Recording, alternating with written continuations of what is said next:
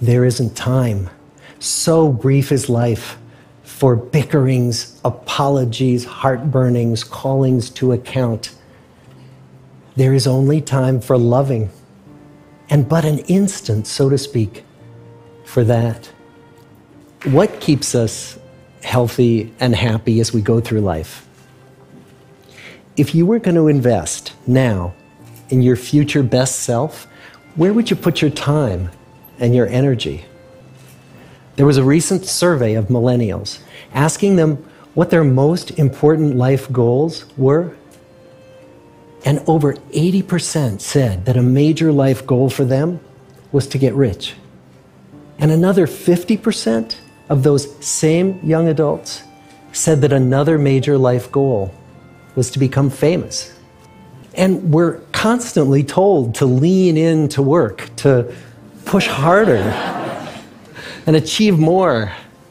We're given the impression that these are the things that we need to go after in order to have a good life. Pictures of entire lives, of the choices that people make and how those choices work out for them, those pictures are almost impossible to get. Most of what we know about human life, we know from asking people to remember the past. And as we know, hindsight is anything but 2020. We forget vast amounts of what happens to us in life, and sometimes memory is downright creative. But what if we could watch entire lives as they unfold through time? What if we could study people from the time that they were teenagers all the way into old age to see what really keeps people happy and healthy? We did that. The Harvard study of adult development may be the longest study of adult life that's ever been done. For 75 years, we've tracked the lives of 724 men year after year asking about their work, their home lives, their health, and of course, asking all along the way without knowing how their life stories were going to turn out. Studies like this are exceedingly rare. Almost all projects of this kind fall apart within a decade because too many people drop out of the study, or funding for the research dries up, or the researchers get distracted, or they die and nobody moves the ball further down the field. But through a combination of luck and the persistence of several generations of researchers, this study has survived. About 60 of our original 724 men are still alive, still participating in the study, most of them in their 90s. And we are now beginning to study the more than 2,000 children of these men and I'm the fourth director of the study. Since 1938, we've tracked the lives of two groups of men. The first group started in the study when they were sophomores at Harvard College. They all finished college during World War II, and then most went off to serve in the war. And the second group that we've followed was a group of boys from Boston's poorest neighborhoods boys who were chosen for the study specifically because they were from some of the most troubled and disadvantaged families in the Boston of the 1930s. Most lived in tenements, many without hot and cold running water. When they entered the study, all of these teenagers were interviewed, they were given medical exams. We went to their homes and we interviewed their parents. And then these teenagers grew up into adults who entered all walks of life. They became factory workers and lawyers and bricklayers and doctors, one president of the United States. Some developed alcoholism, a few developed schizophrenia. Some climbed the social ladder from the bottom all the way to the very top, and some made that journey in the opposite direction. The founders of this study would never in their wildest dreams have imagined that I would be standing here today, 75 years later, telling you that the study still continues. Every two years, our patient and dedicated research staff calls up our men and asks them if we can send them yet one more set of questions about their lives. Many of the inner city Boston men ask us, Why do you keep wanting to study me? My life just isn't that interesting. The Harvard men never ask that question.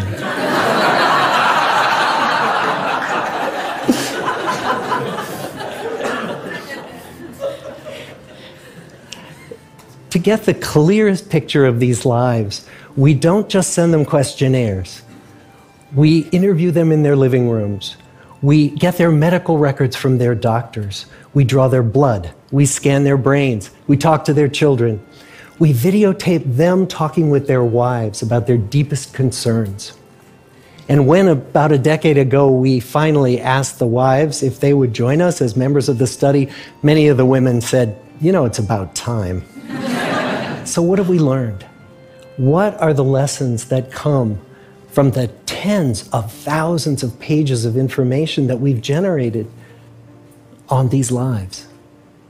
Well, the lessons aren't about wealth or fame or working harder and harder. The clearest message that we get from this 75 year study is this good relationships keep us happier and healthier we've learned three big lessons about relationships. The first is that social connections are really good for us and that loneliness kills. It turns out that people who are more socially connected to family, to friends, to community are happier, they're physically healthier, and they live longer than people who are less well connected. And the experience of loneliness turns out to be toxic people who are more isolated than they want to be from others find that they are less happy, their health declines earlier in midlife, their brain functioning declines sooner, and they live shorter lives than people who are not lonely. And the sad fact is that at any given time, more than one in five Americans will report that they're lonely. And we know that you can be lonely in a crowd and you can be lonely in a marriage. So, the second big lesson that we learned is that it's not just the number of friends you have, and it's not whether or not you're in a committed relationship, but it's the quality of your close relationships that matters. It turns out that living in the midst of conflict is really bad for our health. High conflict marriages, for example, without much affection, turn out to be very bad for our health, perhaps worse than getting divorced. And living in the midst of good, warm relationships is protective. Once we had followed our men all the way into their 80s, we wanted to look back at them at midlife and to see if we could predict who was going to grow into a happy, healthy octogenarian and who wasn't. And when we gathered together everything we knew about them at age 50, it wasn't their middle aged cholesterol levels that predicted how they were going to grow old. It was how satisfied they were in their relationships. The people who were the most satisfied in their relationships at age 50 were the healthiest at age 80. And good, close relationships seem to buffer us from some of the slings and arrows of getting old. Our most happily partnered men and women reported in their 80s that on the days when they had more physical pain, their moods stayed just as happy. But the people who were in unhappy relationships, on the days when they reported more physical pain, it was magnified by more emotional pain. And the third big lesson that we learn about relationships and our health is that good relationships don't just protect our bodies, they protect our brains.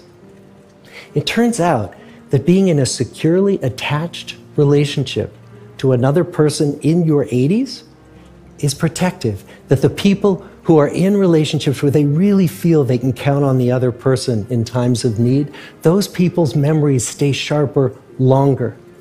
And the people in relationships where they feel they really can't count on the other one, those are the people who experience earlier memory decline. And those good relationships, they don't have to be smooth all the time. Some of our octogenarian couples could bicker with each other day in and day out. But as long as they felt that they could really count on the other when the going got tough, those arguments didn't take a toll on their memories. So, this message that good, close relationships are good for our health and well being, this is wisdom that's as old as the hills.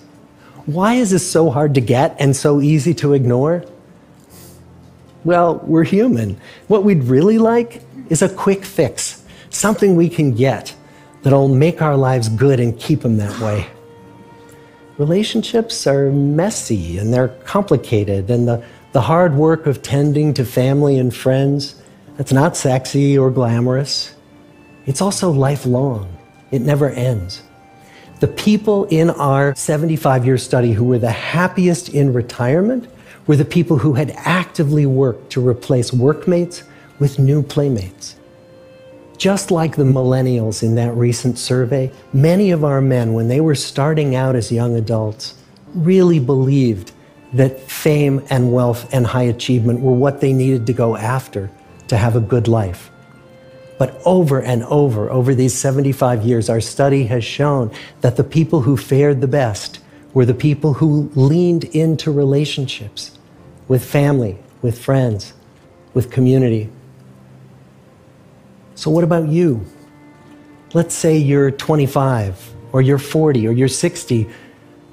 What might leaning into relationships even look like? Well, the possibilities are practically endless.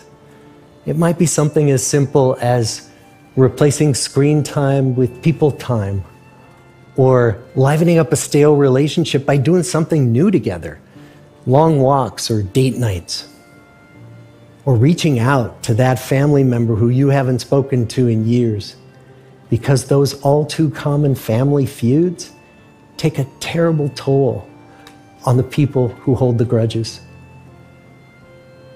I'd like to close with a quote from Mark Twain. More than a century ago, he was looking back on his life and he wrote this There isn't time, so brief is life, for bickerings, apologies, heartburnings, callings to account. There is only time for loving, and but an instant, so to speak, for that. The good life is built with good relationships. Thank you.